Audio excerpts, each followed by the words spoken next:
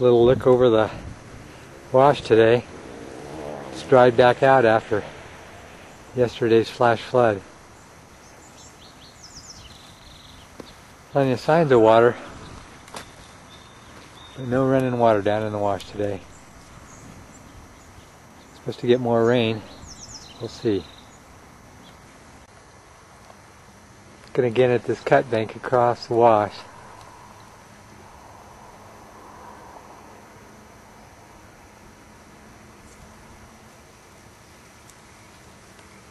A long drop off.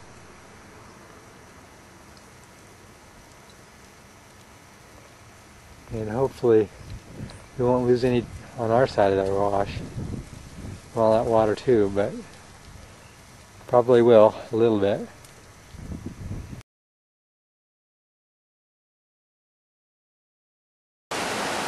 Back the next day, 27 hours later, probably hear the sound, all the water. It's really moving.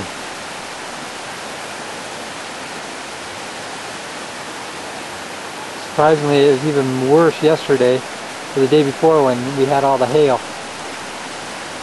Cloudburst.